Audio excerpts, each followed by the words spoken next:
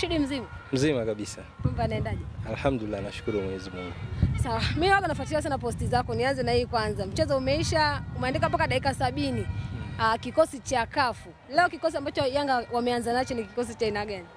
Ni kafu au ligi au Of course ni kikosi cha Yanga, lakini nafikiri jana kwenye press ya kwa- kwenye, kwenye mkutano wa waandishi wa habari mwalimu msaidizi wa Yanga Cedric Kazi alizungumza uh, uchovu ambao timu yao ulikuwa nao mara baada ya kucheza mchezo mgumu dhidi ya Marumo Gallants wa nusu fainali kule Afrika Kusini of course.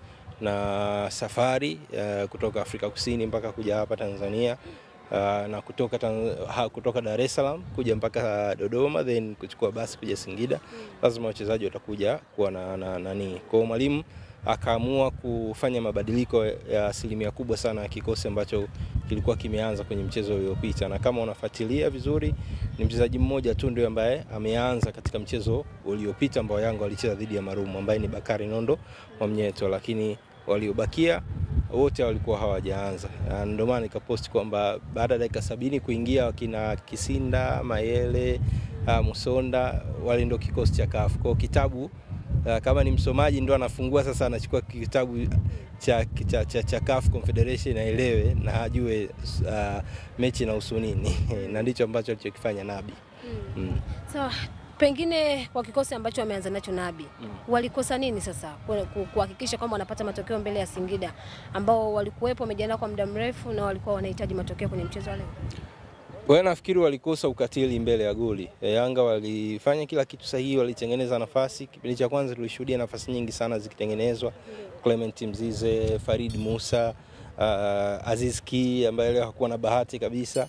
Mara ya mwisho kuja hapa shuti la kwanza tu, la pili nafikiri alifunga goli, lakini leo amekutana na uh, chances asilimia kadhaa ameshindwa kuzitumia. Kwa hiyo Yanga alikosa ukatili uh, mbele ya goli na uh, unapocheza michezo ya namna hii ili kufunga ama kufanyaje dhidi ya timu kama Singida lazima uwe na tunasema uwe na ufanisi mbele ya goli, na ndio maana walipoingia wakina Mayele, chansi ya kwanza Mayele anakutana nayo anafunga.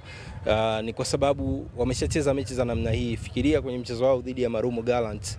Uh, muda mwingi Marumo wao ndo walimiliki mchezo, asilimia kubwa ya mchezo walimiliki wao.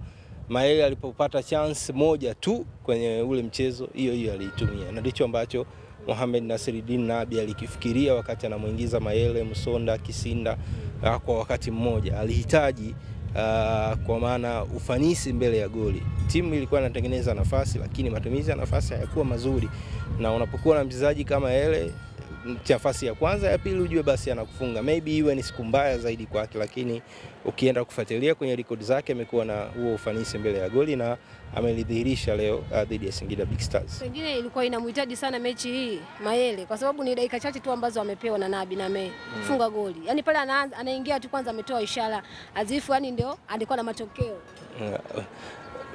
Kwa wakati anaingia, of course game ilikuwa namhitaji yeye Mayele. Mwalimu alikuwa na mpango wake wa, wa, wa mechi ambao waliuanzisha kwa maana kumwanzisha Clement Mzize na Aziz Ki ambao pia katika mchezo uliopita walianza.